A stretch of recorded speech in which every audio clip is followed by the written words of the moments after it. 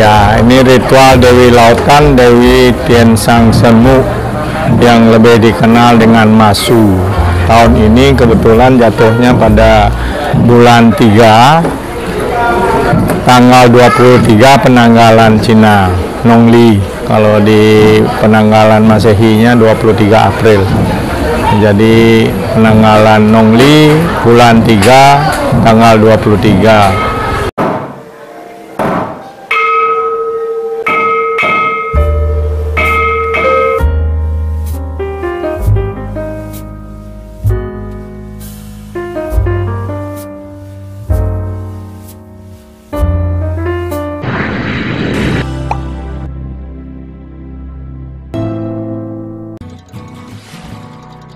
lupa subscribe.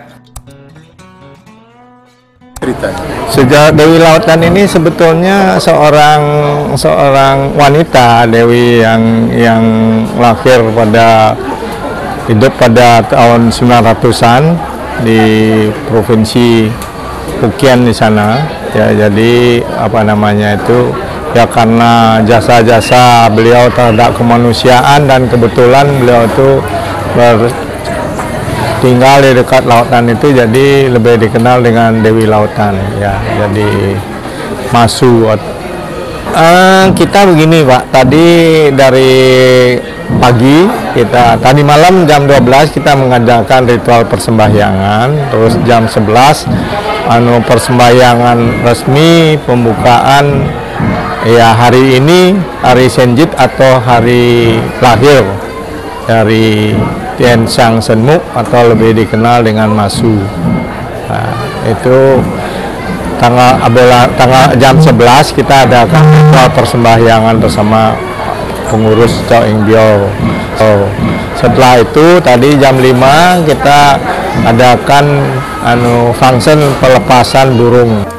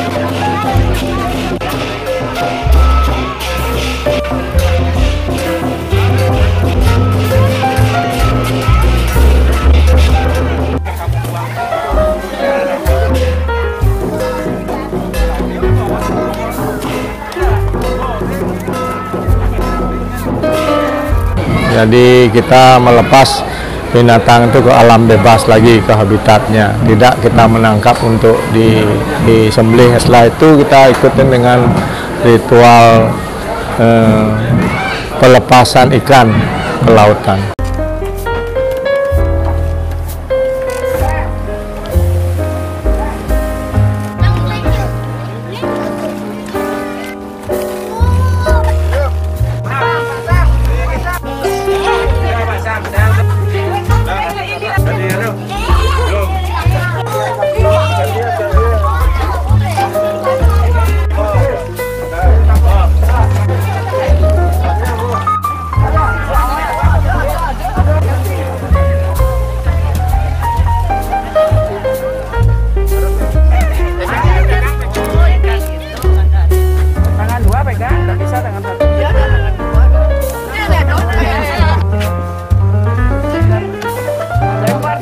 Itu sebetulnya kita sebagai manusia ya itu selalu mengambil dari alam semesta ya nah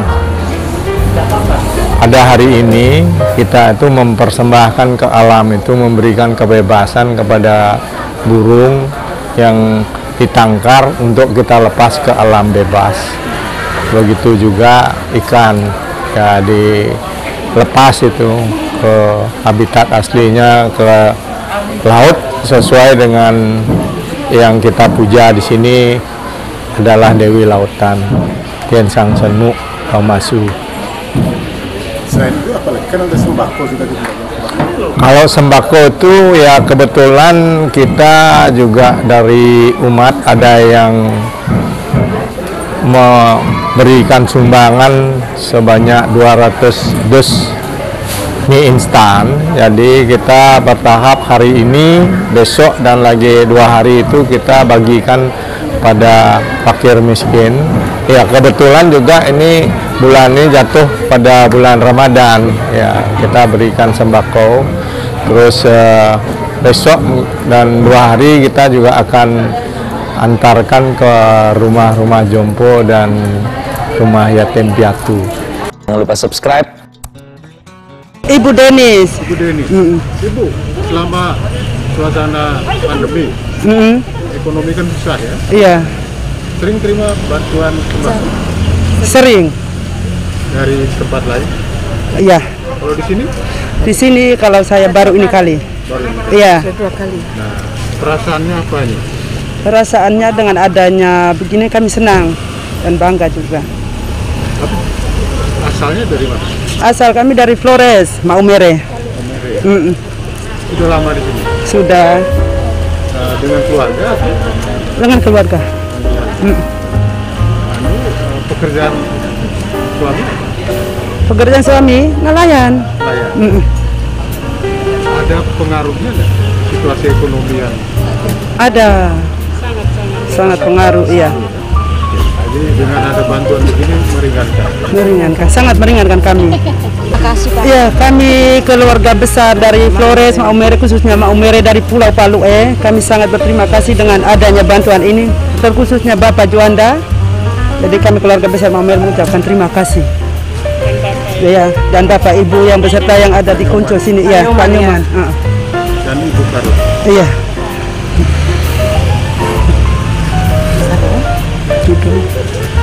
Ya. Iya.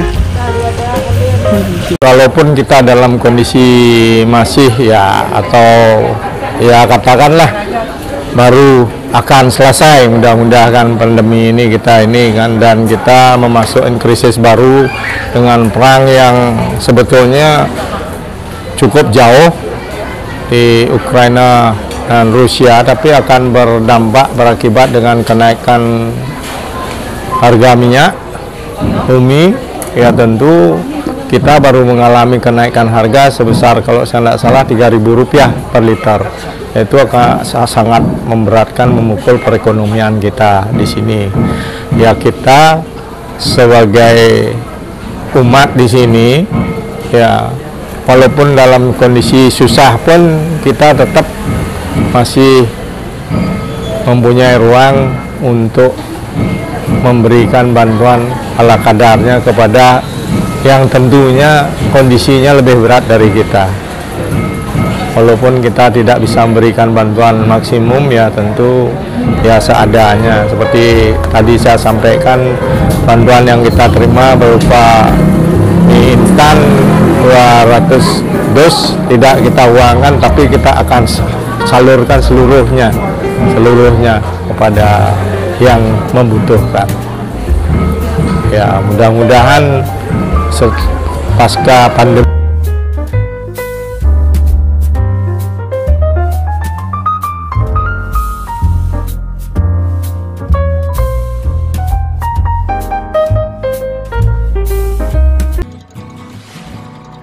Jangan lupa subscribe